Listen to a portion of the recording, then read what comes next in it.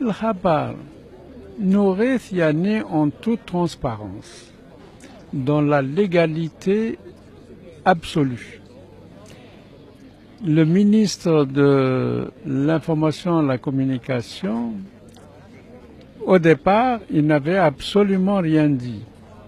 Une fois que l'acte est passé, a été enregistré, tous les droits ont été payés, et il a fait ressortir l'article 25.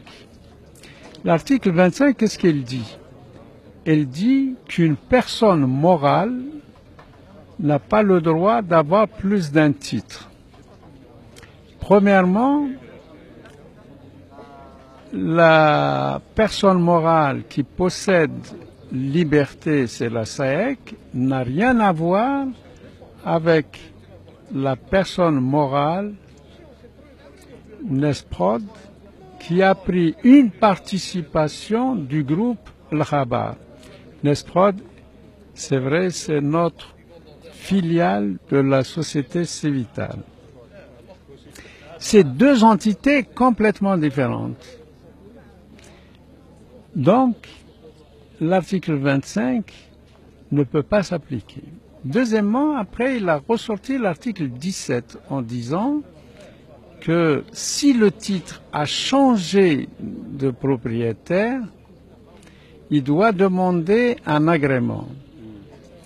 D'abord, le titre, le n'a pas changé de propriétaire, puisque c'est le groupe le qui est toujours propriétaire du titre le Khabar.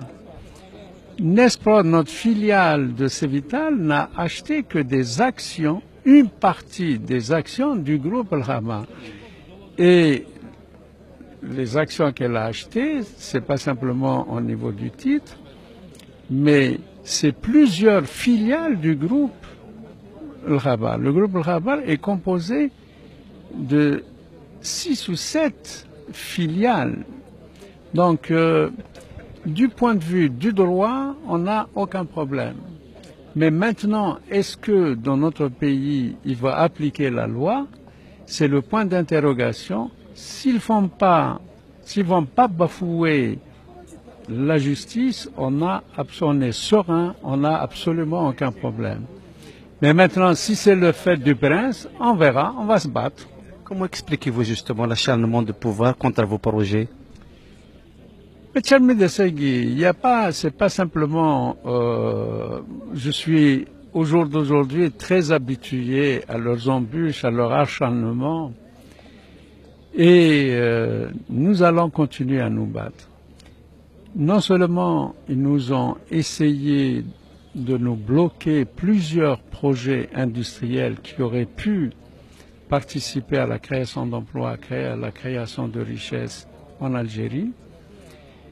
On aurait pu, par exemple, dans le cadre du projet de Capginet,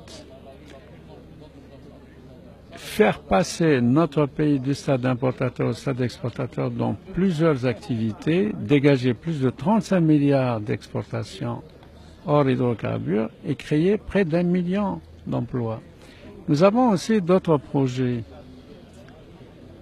au niveau de Béjaïa qui nous ont bloqués. Nous avons d'autres projets dans la pétrochimie qui nous ont bloqués.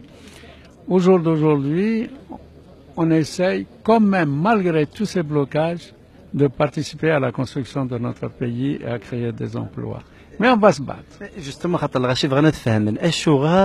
Justement, خاطر الغاشي بغينا نتفاهمن الشغار le pouvoir toujours يتبدد كونتر البراب دي زانفستيسمون الناس الوغ كو لي بروجي كاع الحاجه اللي داون الحاجه الى هاني ثمورث مي توجور خدمنا كدا ويقن غوفريدا شنو السبه اسكو سي بوليتيك نا سي بيرسونيل افيك البريزيدون Non, non, non, c'est politique. Ils veulent pas d'abord Aïva Radivan, Akvayin Radivan, d'une part, Ninikinian Neljehansen, ils m'auraient pas fait ce qu'ils sont en train de me faire. D'une part. Deuxièmement, ils ont peur pour leur pouvoir. Ils se disent, si ce bonhomme continue encore à progresser, il risque demain de venir prendre le pouvoir qui, aujourd'hui, ils essayent absolument de bloquer toute personne qui essaierait d'émerger. Donc, c'est un problème, évidemment, à mon sens. Donc, il y a, l'anticabilisme qui des moments qui Exactement. Il y a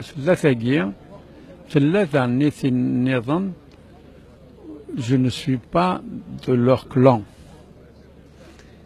Et comme je ne suis pas de leur clan, j'aime mon indépendance, je suis un électron libre, je dis ce qui me plaît, je dis ce que je pense, et ça, ça ne leur plaît pas. En tant qu'un grand investisseur, est-ce qu'elle que vous avez vu les halats sur le plan économique de Mourth, dans le plan économique de Mourth, dans le plan économique de Mourth Malheureusement, ça a fait Mourth qui vous fait un petit وكان يتجان يعني جزائريين خدمن تمورث نسن on serait déjà sorti du sous-développement à Chayayagi. Mais ils freinent, ils tirent les gens vers le bas au lieu de tirer les gens vers le haut.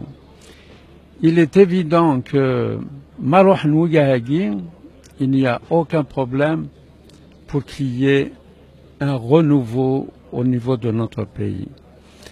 L'Algérie, Blaougahagi, c'est un pays qui va s'en sortir. Mais Swigahagi, Adar Sigrir Ventamouth.